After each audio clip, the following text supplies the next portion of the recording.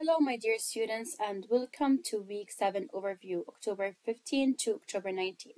During this week, we will be talking about photosynthesis, which is the last lesson of Unit 1. At the end of this lesson, you will be able to construct an explanation using models for how plants and other organisms use photosynthesis to make food, also explain the role of light, carbon dioxide, water, and chlorophyll in photosynthesis, also cite evidence to support the role of photosynthesis in the cycling of materials and energy through ecosystem.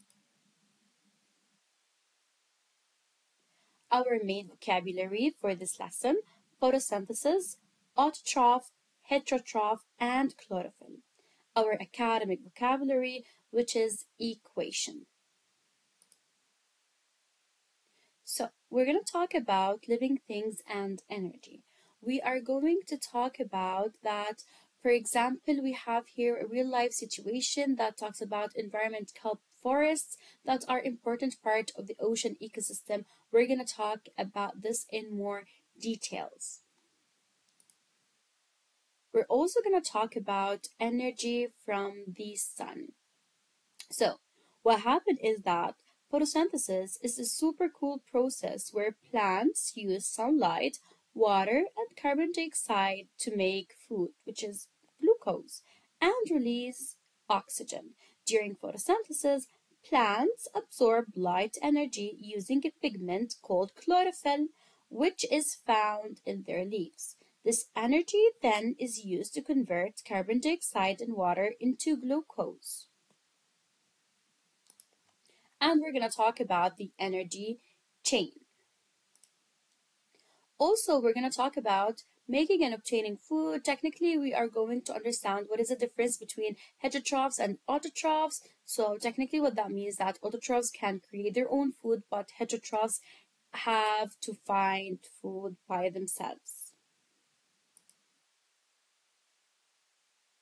We're also going to talk about photosynthesis and like I mentioned earlier that photosynthesis is going to be divided over uh, more than one stage. So for example, the stage one, which is trapping the sun's energy. So chloroplast, the organelle that we studied at the beginning. So the green organelles in plant cell use chlorophyll to absorb sunlight during the first stage of photosynthesis.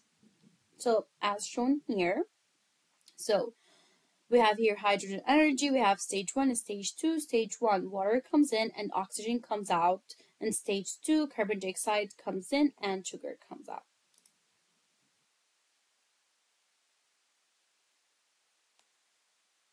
So here we have, we're going to also going to go to the lab. Okay, so we're going to go to the lab for comparing cells. Then we are going to continue talking about the uh, photosynthesis, for example, the stage two making food. In the stage two photosynthesis, cells produce sugars. Uh, sugars are carbohydrates that are useful for storing chemical energy and for building larger molecules. So the production of glucose, it's shown right here. Okay, so for example, here we have carbon dioxide, here we have oxygen, and this is glucose, and technically this is the light energy.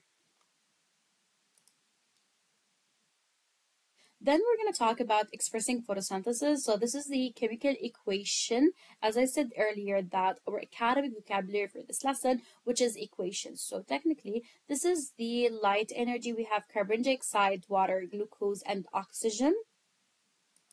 Okay, so we have six molecules of carbon dioxide and six molecules of water are in the equation to the left of the arrow. These compounds are raw materials or technically what we call them in chemistry, those are reactants. So one molecule of glucose and six molecules of oxygen are on the right side of the arrow. These compounds are the products. So what happens to glucose and oxygen that is produced by plants during photosynthesis. Plants use some of the glucose for growth and other functions, some to make other materials such as cell walls, and some is stored for later use. Oxygen is released into the air. So this is where the roots store energy, leaves build cell walls, and seeds also store energy as well. We also have here the importance